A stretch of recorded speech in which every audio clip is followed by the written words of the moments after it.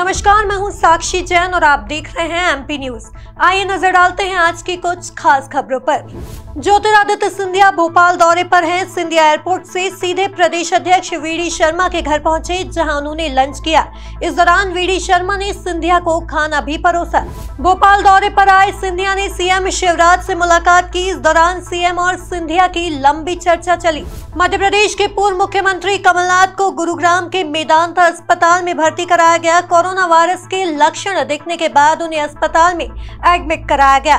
देपालपुर के जमगोदा गाँव में सरपंच की दबंगाई का मामला सामने आया है। यहाँ सरपंच ने लोगों के खेत पर जाने वाले रास्ते में गहरा गड्ढा खोदकर बंद कर दिया, जिसकी शिकायत पर तहसीलदार ने पुलिस के साथ मौका मुआयना किया। रीवा ज़िले में एक तरफा मोहब्बत में एक सिरफिरे आशिक ने खौफनाक वारदात को अंजाम दे दिया। उसने अपने घर में ही सो रही युवती पर तेजाब फेंक दिया, जिससे पीड़ित और दो नाबालिग झुलस गए। वारदात को अंजाम देने के बाद आरोपी फरार हो गया।